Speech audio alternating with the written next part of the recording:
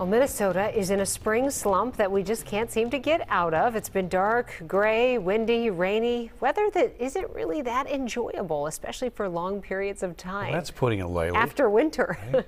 it's safe to say that uh, a lot of people are just flat out tired of it. Not to mention, we're now just about five days away from May, still yearning for some sunshine and warm weather. Fox 9's Rose Schmidt joins us live. And Rose, we're all in this together, especially those in a town that bears this season's name.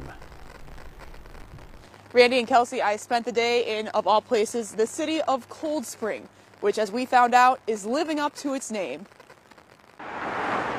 At a bar called Grumpy's, in a city called Cold Spring, it's not difficult to tell the most common topic of conversation. I'm cold in Cold Spring. oh, that's cool. We've had, let's face it, it's the winter that'll never end. A cold spring. My boyfriend has a Harley and we'd be riding around and doing fun things, but nope. and it's getting pretty old. It's horrible. I like every day I wake up and I'm depressed. Like I you look out the window and it's like, oh, another gloomy day. And there's a scientific reason she feels that way. it's draining on us and our bodies aren't used to this. It's not used to going this long without sunshine. Allina Health's Dr. Sarah Paper says the cold, darker days give us less energy and make it more difficult for us to get outside and do the things we love to do. Exercise is one that we know lifts our mood and spirit. And if we can't get out there and exercise and, and get that sunshine, we're not going to feel as happy. We asked our weather expert, Chief Meteorologist Ian Leonard, to dive deep into just how bad this month has been. It hasn't been a great April. It's been cloudy, it's been cool, it's been wet. But is it record setting? No.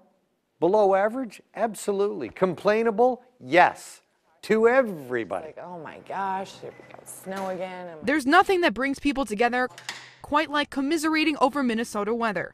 It's a beautiful state, but it's for the strong and hardy. And I think we can all agree spring and summer better be well worth the wait.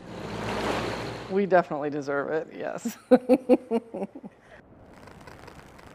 so, what are the best ways to cope with this weather? Dr. Paper says eat well, listen to your body, exercise, and remember this will all be over soon, so hold on to that. I know I will be. Back to you guys. Mm. All right, thanks, Rose. Grumpy seems like a good place and to hang out. She didn't mean right now, yes. Leonard.